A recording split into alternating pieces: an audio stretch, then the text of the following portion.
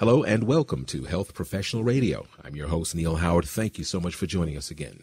Joining us today is Dr. Rick Baehner. He's Chief Medical Officer at Precision Oncology at Exact Sciences, and he's joining us on the program to talk about the recent introduction of the Oncotype MAP Pan Cancer Tissue Test. Welcome to Health Professional Radio, Dr. Baehner. Hi, Neil. Thank you very much. Uh, really appreciate the opportunity to speak with you today. Well, I mentioned that, of course, that you're chief medical officer there at uh, Precision Oncology. Give us a bit of your uh, professional background and talk about your role there at Exact Sciences. Great. Thank you, Neil. Um, I'm actually a pathologist by training, and I've been working at Exact Sciences for over 20 years. We focus in on diagnostic tools for patients with cancer, both early stage disease as well as in the metastatic setting, patients with advanced disease or metastatic disease and look forward to talking to you about this uh, today. Now, you recently introduced the Oncotype MAP Pan Cancer Tissue Test. Talk about this test and how it works. Sure. Well, Neil, the, the Oncotype MAP Pan Cancer Tissue Test is uh, really a very powerful genomic tool. Uh, it uses uh, sections from the uh, patient tumor sample in next generation sequencing technology, as well as immunohistochemistry. And this enables us to provide actionable insights uh, about the patient's distinctive tumor biology in order to help inform treatment decisions for people with advanced cancer. Um, right now, we're at a place where there are just literally more and more targeted therapies that are available almost on a monthly basis. And what's so critical, these are being studied in clinical trials. And um, the genomic insights that can be obtained from the patient tumor sample really help direct these therapies and have that potential impact or the potential to really be able to impact patient care by matching the right uh, therapy uh, with the right tumor marker. What types of specific insights are we talking about, and are these insights obtainable from any type of tumor? Sure. So the Oncotype MAP test uh, looks at solid tumors and uh, it assesses uh, a little over 250 genes or more than 250 genes. And um, in addition to providing uh, the genomic results uh, that are derived from next generation sequencing, um, we also assess from uh, sections of the tumor tissue traditional protein markers. And so the report is tailored to the patient's particular tumor type, for example, breast cancer. And uh, the patient and physician receive a report uh, that essentially can provide, uh, first of all, um, actionable biomarkers that are associated with uh, over 100 different guideline and evidence based therapies, but also combination therapies.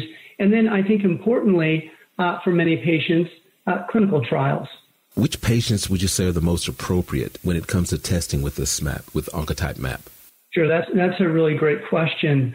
Uh, today, uh, the Oncotype MAP assay is really for patients, for Americans that are facing advanced cancer. And there's around uh, a half million of patients that are facing advanced cancer. Uh, today, uh, many patients um, still don't have access to comprehensive genomic testing as they try to make these really critical treatment decisions. Um, and as a result, uh, some patients are getting prescribed treatments uh, that their tumors might not optimally respond to. So, this right now, the test is being offered in the United States, and it's for Americans facing advanced cancer. What are some of the other features that you would say differentiate this test from others that are available? The um, Oncotype map uh, uh, pan um, cancer tissue test has been really optimized to um, work with very small samples. Uh, Neil, I'm, as I said before, still a, a, practicing pathologist. And what I've really spent uh, the majority of my professional career doing is trying to obtain very um, uh, biopsy samples from very small tumor tissues, metastatic tumor tissues, uh, in a way that really causes the least amount of discomfort to um, patients. And so the, the ability to work with very small metastatic tumor samples is absolutely critical. And we've really optimized this test to be able to work with those. I think the second piece, too, is in patients that have advanced cancer, um, it is uh, rapidity with which you can get results back to that treating physician and to that patient. So we've also spent a fair amount of time really optimizing the speed with which we can provide those results. And in most cases, we can provide those um, in three to five business days. Patients who have advanced cancer or metastatic cancer, uh, oftentimes these metastases of tumor, um, they can be either palpable or they can be non-palpable. And uh, today, the most uh, common way to get tumor tissue from these metastatic sites is either a targeted needle core biopsy, and this can be done through palpation, if palpable, or through CT or other radiographic guidance. Another very common and perhaps less painful procedure is a fine needle aspiration biopsy.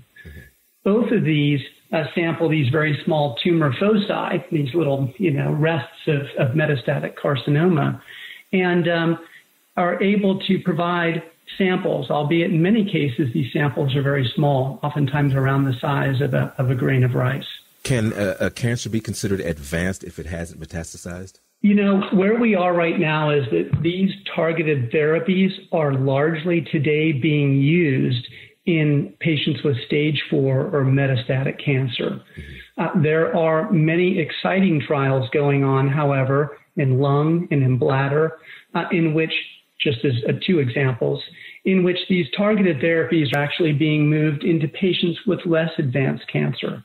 So I think more we have there's a lot more to come and I think this just highlights why this is such an exciting area right now today. There's such effort uh, from our colleagues in pharma that are developing these targeted therapies and combining them with these molecular diagnostics in order to meaningfully impact not only patients with metastatic disease, hopefully we're able to treat patients earlier uh, with cancer so that we can meaningfully uh, change their outcomes. What about retesting? What about the failure rate of these tests? Well, those are those are two really great questions. Um, perhaps the first one about retesting.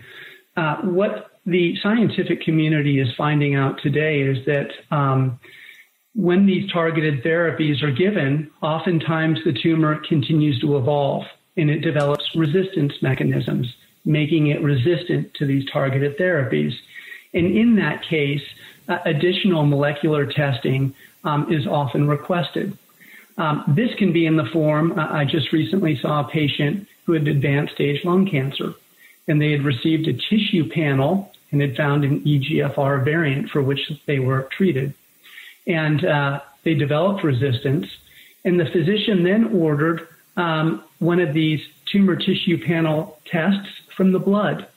So very quickly, not only is tissue uh, you know, useful for doing repeat testing, but also the blood also can provide that opportunity to assess for resistance mutations, and that then can help guide that information subsequent um, um, therapeutic treatment decisions. We'd like to learn some more. Give us a website where we can get some more information, please.